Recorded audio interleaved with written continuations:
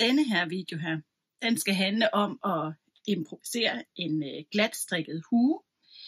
Øh, uanset om du vil strikke en hue som den, jeg har strikket her, eller en anden type hue, ud fra et helt tilfældigt garn.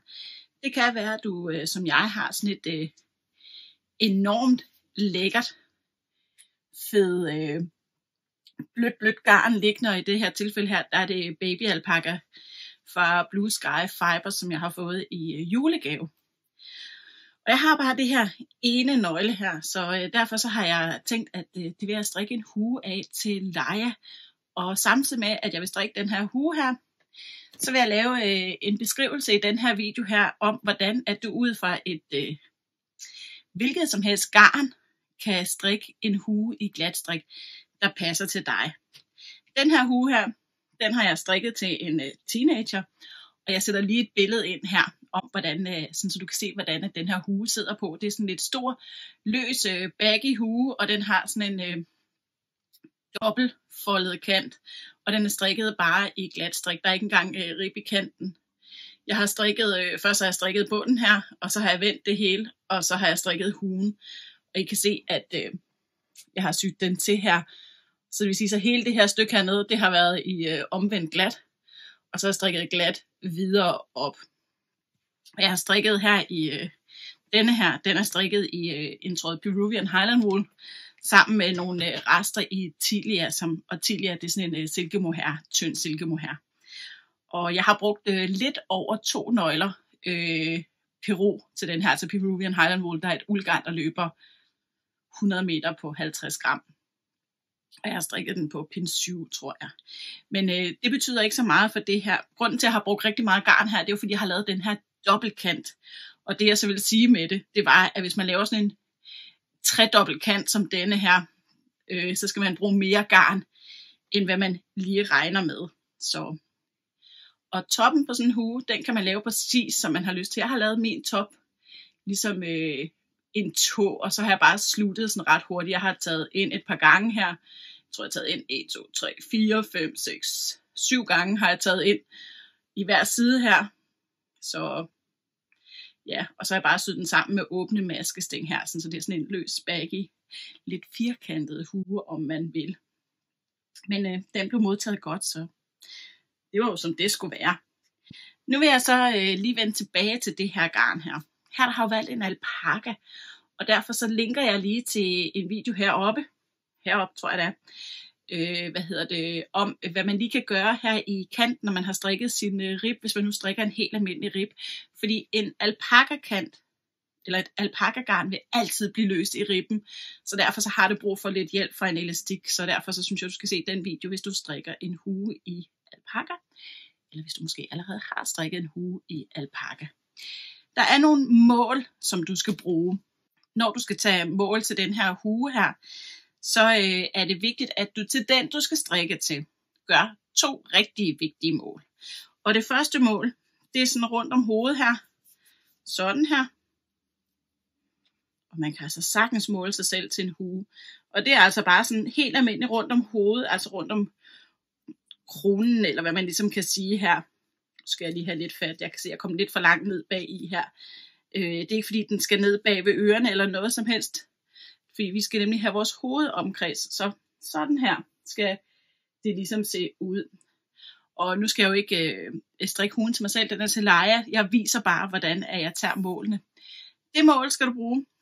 Og så skal du bruge det mål, der hedder fra øreflip til øreflip. Altså lige ned over øreflippen, hen over hovedet her. Det er de to mål, du skal bruge. Og det mål, du har her, det skal vi have delt med to. Så men nu vender jeg lige kameraet om og tager jer med ned til min skitse. Så kom med. Jeg øh, har min øh, mål her. Jeg har altså fra øreflip til øreflip. Og øh, det mål, det skal jeg skrive ned. Og så har jeg det næste mål her, der er rundt om kronen lige hen over hovedet. Altså lidt ligesom hvis du ville tage en kongekrone på, så er det bare det mål. Og så kan du stort set med de to mål strik en hue til hvem du vil, som at der passer på én betingelse. Og det er jo, at øh, du får din strikkefasthed til at passe. Og lige her, et lille i, hvis du følger det, så har jeg øh, lavet en video, der handler om strikkefasthed. Men tilbage til regnestykket. Jeg har tegnet Lejas øh, hue op, og så det er ligesom det, der danner basis for min opskrift. Og hvad hedder det? Leia, hun var jo rundt om hovedet. Der var hun jo øh, 42. Og øh, hele vejen rundt her, altså fra øreflip til øreflip, der er hun 36. Og den skal så deles med 2. Og det er så 18 cm. Så det er hele det stykke her. Hernede fra ribkanten og op til toppen af huen. Det skal være 18 cm.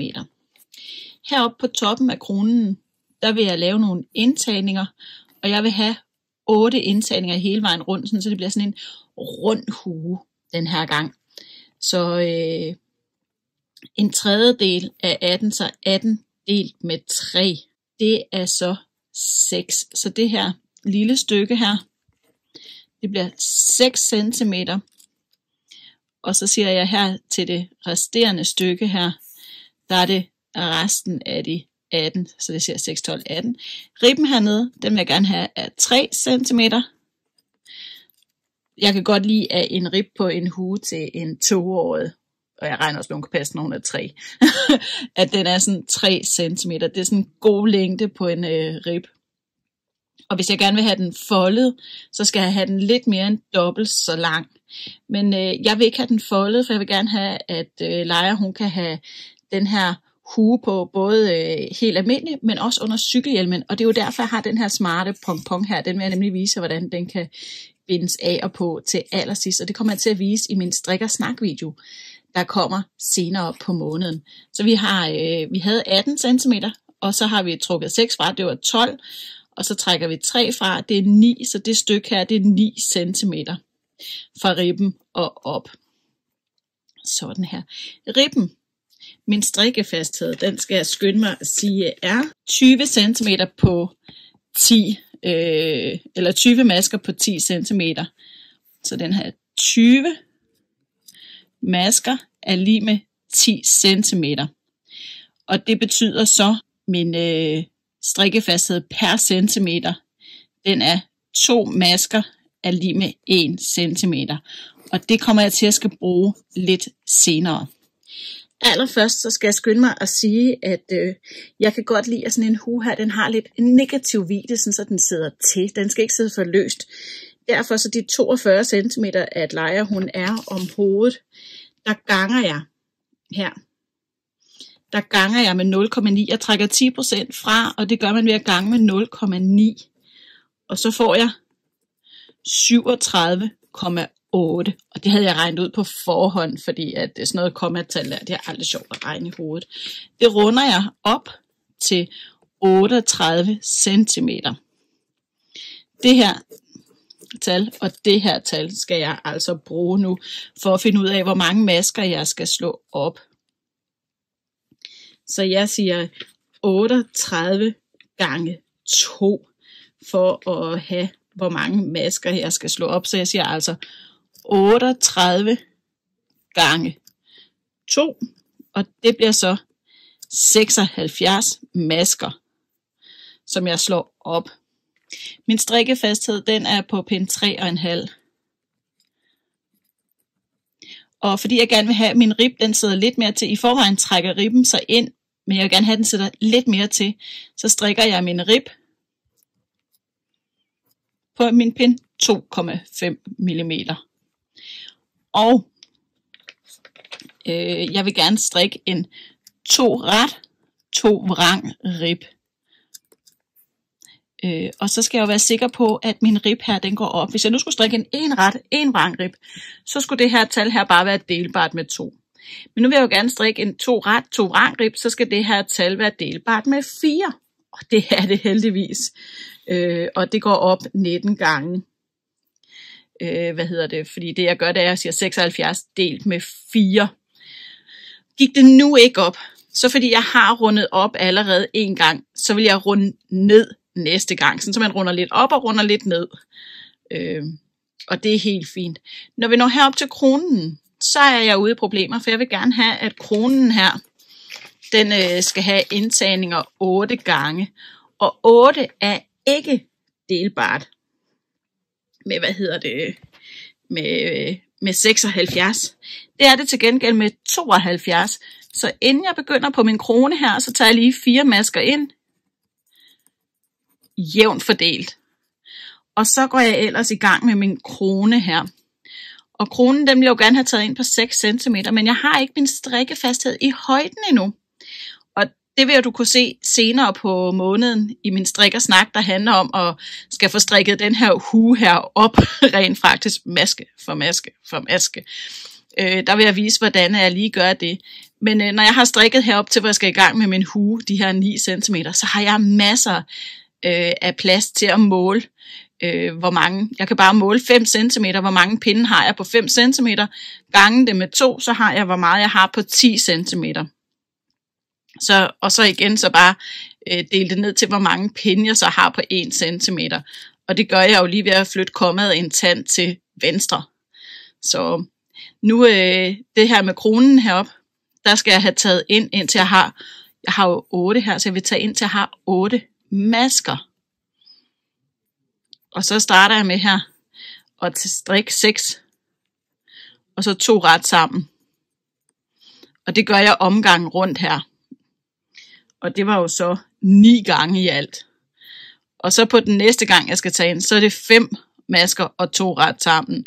Og fire masker og to ret sammen. Og tre masker og to ret sammen. To masker, to ret sammen. En maske, to ret sammen.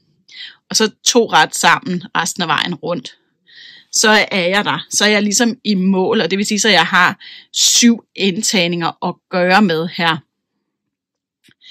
Øh, og så syr jeg bare min tråd igennem heroppe, sådan så den, øh, øh, sådan så at den er syet igennem. Det kunne også være, at du vil have en mere firkantet øh, aflukning, som den jeg har øh, i min hue, som jeg viste først. Og det vil jeg lige vise her. Sådan der. der gjorde jeg jo bare det, at jeg har min hue her, med den foldede kant, og så kom jeg op, og så vil jeg gerne lukke lidt af, og der lukker jeg af.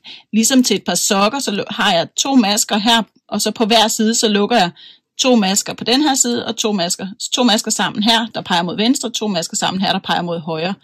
Og det gjorde jeg på hver anden pind et par gange. Og jeg gør det lige mange gange i hver side, indtil jeg ligesom synes, jeg har det tilbage i midten, som jeg har lyst til at have tilbage i midten. Og så har jeg syet sammen med åbne maskestæng herop. Og jeg har jo en video både med indtagningerne her, der peger til venstre og til højre. Og jeg har også en video med, hvordan at jeg øh, syr sammen med åbne maskesting. Den foldede kant her, den fik jeg jo ved, det var sådan en tre, trelagskant. Det fik jeg ved, at jeg først strikkede tre gange den længde, jeg gerne ville have min rib var. Så man siger lige 1, 2, 3 gange. Og øh, den strikkede jeg i omvendt glat. Og et lille snydetriks til det, omvendt glat, hvis man ikke gider at strikke alt det her i vrang. så et lille snydetricks, det er, når man kommer op her, hvor man har længden, så vender man, ligesom krænger man det hele ud, og så strikker man den anden vej. Og når jeg begynder at strikke den anden vej, så bytter jeg lige om på første og sidste maske, så der ikke er et hul her øh, og det er meget let. Og så strikker jeg bare videre op i glat, så vil det her hænger være vrang, og det her det var glat, så det her det var vrang. Og det her op, det var glat. Og så folder jeg simpelthen bare øh, huen op. Her der kan du se, at jeg har mit stykke omvendt glat her, og så har jeg mit glat, og jeg er jo ikke øh, overhovedet færdig endnu. Så det jeg gør, når jeg skal folde op, det er, at jeg folder min kant op, men jeg folder den ikke helt op. Jeg vend, lader ligesom folde den op, så der er to riller tilbage her. Sådan der, for så har den lidt, når jeg så folder igen, så prøv at se her. Sådan her. Så er det det her, der kommer til at ligge ude og være uden om øh, hugen. Og øh, herinde i, der kommer den jo så til lige at have et lille stykke af det her. Det man ikke vil, det er, at man vil ikke have, at det her det kommer til at fluffe ud, men det kan du lynhurtigt lige tage stilling til i dit strik. Og som du kan se, så kan den næsten ikke være her i billedet. Og jeg har ikke gjort, når jeg bare slået op med en helt almindelig kant. folder op. Sådan der, og så syr jeg den bare ind ved at sy kanten ind i maskerne her. Og så folder jeg op her. Og øh, her der kan man jo lige festne et par gange med et eller andet, hvis man har lyst. Jeg har ikke festnet mine huer overhovedet. Øh, jeg lader dem bare være foldet op sådan her. For jeg kan så godt lide, at når de så en gang imellem bliver vasket, eller hvis de er blevet våde i regningen, at man lige kan have dem foldet ud, i hvert fald bare sådan her, sådan, så det kun er to lag, der skal tørre. Hvis det var sådan her, så var der jo et lag, to lag, tre lag.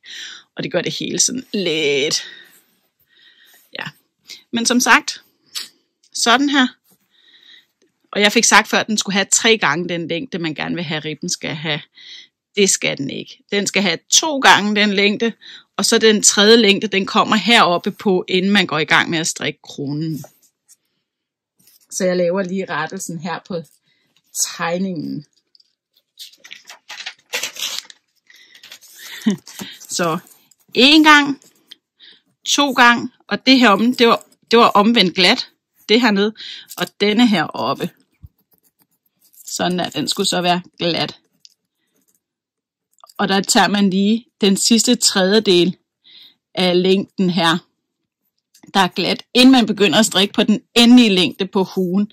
Fordi så det her stykke her, det er ligesom ribben, og det er herfra og herop til, at du måler din længde på din hue, hvis det er med sådan en tredobbelt foldet kant. Så det var noget værre vrøvl, jeg fik øh, sagt før.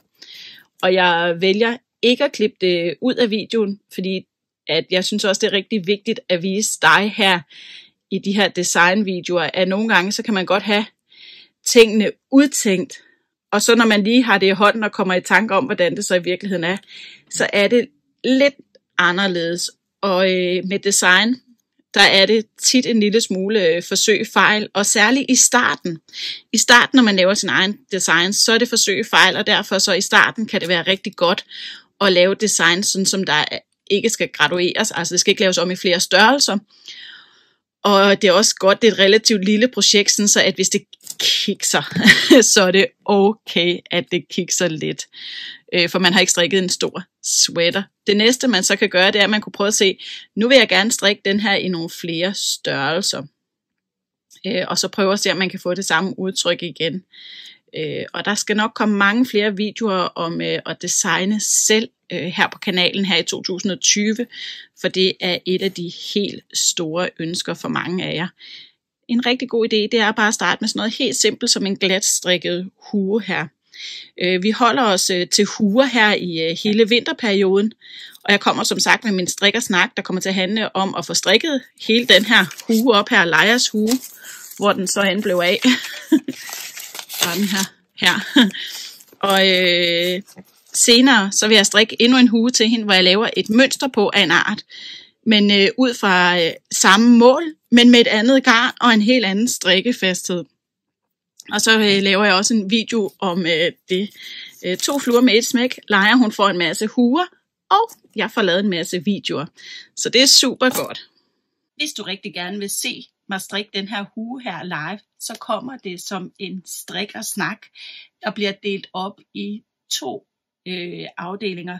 Altså en afdeling, hvor jeg ligesom slår op, og hvad hedder det, og strikker ribben, og strikker et stykke op på huen, så meget vi nu kan nå, på en time til halvanden. Øh, jeg ved ikke, hvor langt det stykke det bliver, hvor jeg ligesom snakker om løst og fast. Så herunder den her video her, hvis der er et spørgsmål, du gerne vil stille mig, som du rigtig gerne vil have, at jeg svarer på i min strikkersnak, i forhold til det med at strikke huer, så kan du øh, stille spørgsmål herunder, så vil jeg svare på det, mens øh, jeg strikker huen i strikkersnak. Og øh, så laver jeg den næste afdeling, altså det næste afsnit, fordi det bliver to afsnit, for jeg kan ikke helt nå at strikke en hue til en toårig i en lang video. Fordi strik og snak, det er jo maske for maske for maske for maske. Jeg springer ikke noget over, så I kommer til at se en maske af strik. øh, hvad hedder det? Så vil jeg ligesom vise også, øh, hvordan jeg laver de her indtagninger her til kronen herop, og så vil jeg vise til sidst, hvordan at jeg festner den her super smarte pong pong her, som jeg er lidt vild med det er, hvad hedder det, aus Østrich. Den er 100% øh, vegansk. Der er altså ikke kommet nogen øh, dyr til skade, og så er den bare mega, mega blød og lækker. Og både øh, garn og øh, pong pong her, det kan du få hos øh, Knit We Do. Det var en lille reklame her. Men øh, det er i hvert fald øh, webshoppen Knit, Knit We Do, der fører de her produkter her. Jeg glæder mig rigtig meget til at skal strikke den her hue her live, for det har nemlig været et stort ønske her på kanalen i forhold til min strikkersnak, der jo er de her lange videoer, maske for maske for maske, der har det store ønske været at se, hvordan at jeg strikker en hue. Så følge med der, og den kommer altså den sidste fredag i den her måned her, der kommer afsnit 1, og afsnit 2 kommer så første fredag i februar. Så rigtig god strikkelyst. Jeg håber, at øh, du kunne lide den her lille matematikvideo her. Vi øh, strikkes ved, og glem nu ikke at give en tommel op, eller hvad der man gør.